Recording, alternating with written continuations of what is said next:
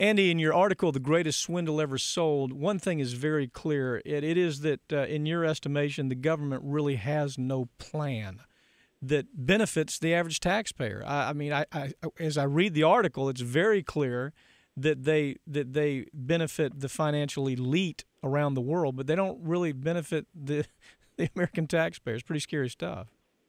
It is. The plan, uh, you know, since its inception, um, has pretty much been to invest money in the largest financial institutions, in the AIGs, the Citigroups, the Bank of Americas, these, you know, institutions that are called "quote unquote" too big to fail. Mm-hmm. Um, you know, whose interests are uh, looked after in Washington, um, as opposed to the taxpayer, who really is kind of getting hung out to dry in this. You know, there's very little in it for uh, you know Main Street as opposed to Wall Street and hundreds of millions of people out there who are affected by this crisis, who are affected by home foreclosures or who can't get out take out loans, um, small businesses who can't get money from banks.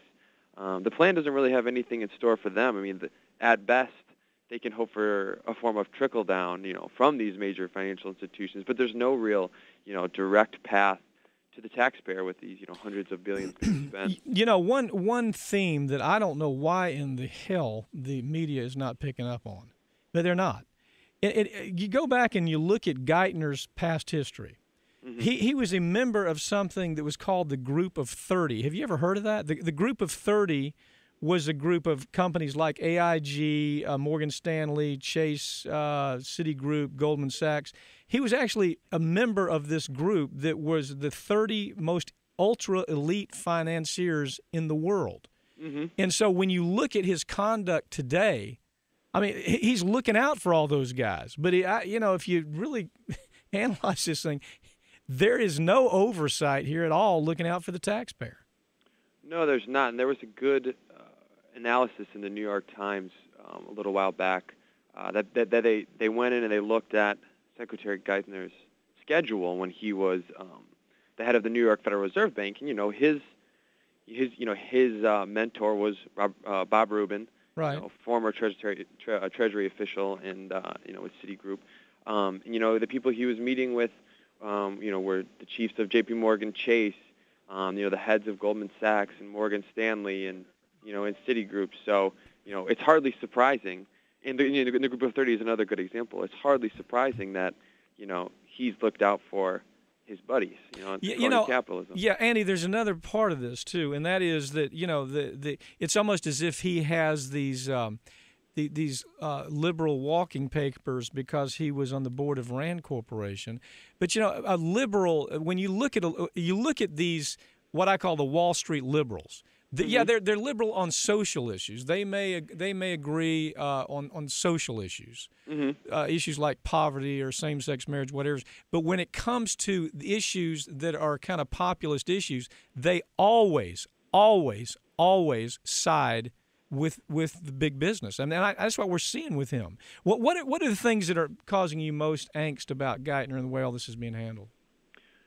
One of the most disconcerting aspects of the bailout, and this specifically goes right to Geithner, um, are the newer programs that he has rolled out um, since becoming the Treasury Secretary. You know, Hank Paulson had his whole strategy, um, you know, with the Bush administration, and Geithner took over.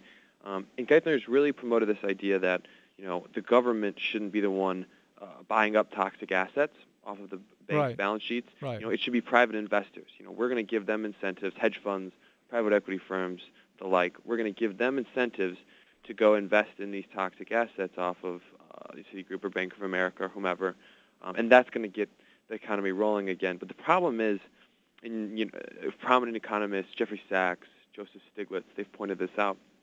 The terms of these pro- public-private investment programs are so sweet, are so tilted toward private investors that um, it essentially privatizes all the gain and subsidizes all the loss.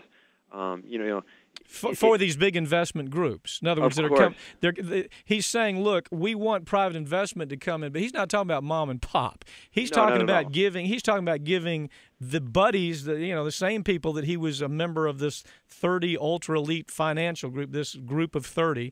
Those are the guys that he wants to give these incredibly sweet deals to. Explain how sweet the deals are. Well, with for instance, there's one program called the, the Public-Private Investment Program, PPIP. Um, and in this program, um, the private investor puts up 8%. Say he wants to bid on an asset. He, he puts up 8% of the value. The government, on the other hand, puts up 92%. Mm. But if the asset turns out to be profitable, the gains are split. Right. So, but if so, but if they're not profitable, the government uh, taxpayer yeah. Takes all the loss. Exactly. So who has all the risk here? You know, it's obvious. The the government has all the risk. You know, these are toxic assets. Another issue is that no one is sure what these things are worth.